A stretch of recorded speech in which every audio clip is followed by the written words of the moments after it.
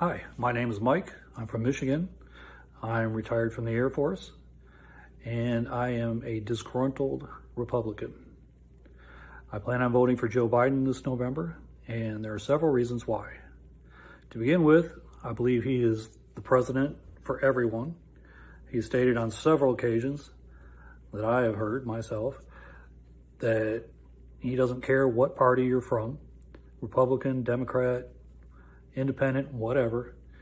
He is going to be the American president. If you're an American, he will represent you. I like the fact that he's talked about you working diligently to unite the people of this country and to end all of this divisiveness that's been going on lately. I work that he has a comprehensive health, health plan, a health plan that is supposed to expand health coverage to all Americans, and that he is not talking about ending the health care for millions of people during a pandemic. Speaking of the pandemic, I truly love the way he is leading by example as far as wearing a mask, maintaining his social distancing, all the stuff that the experts said we need to do to control the virus, he's doing it. That is called leadership by example, and that is something I greatly appreciate. It's what a true leader does. One of the th other things he's talked about is increasing taxes, but he's only talking about increasing taxes on the very rich, wealthy, and wealthy corporations.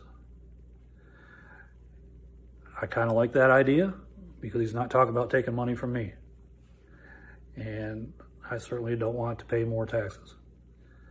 Uh, some of that money that he's talking about generating from these extra taxes is going to be used for Social Security to be used to ensure that Social Security is secured in, in years the years to come, and that it'll be available in the near future as well.